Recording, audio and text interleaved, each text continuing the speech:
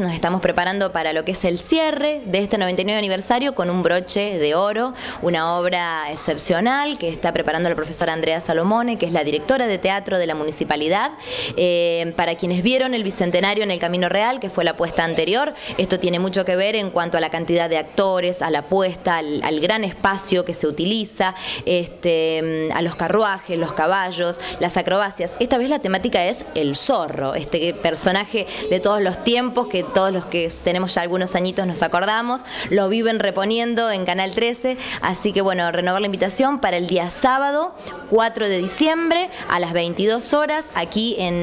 la estación del ferrocarril donde funciona la Dirección de Cultura. Eh, la obra se va a realizar sobre lo que es el, andén, eh, la gente va a estar ubicada sobre las vías, lamentablemente bueno, ya no, no circulan los trenes en, esta, en este ramal, pero queda prácticamente un anfiteatro natural muy lindo y bueno, se aprovechó este espacio para bueno, dar un nuevo escenario a, los ciudadanos de los urgentes y bueno, nos gustaría que nos acompañe toda la gente de la región, así que... Esto es con entrada libre y gratuita, ¿no? No, esta vez no es entrada libre y gratuita, eh, las anticipadas se pueden adquirir aquí en el Centro Cultural, tienen un costo de 15 pesos para los adultos y de 10 pesos para los niños y si se compran el día sábado, bueno, el precio ya siendo un poquito, 20 pesos para los adultos y 15 pesos para los niños. Bueno, Jimena, muchísimas gracias y seguramente estaremos en contacto porque en este eh, inicio ya del, camino del centenario, como decías, cada 15 días va a haber actividad, así que va a haber mucho para contar a la región. Así es, la primera actividad que se va a realizar es el día primero de enero. Nos vamos a reunir todos los urgentinos para comenzar el año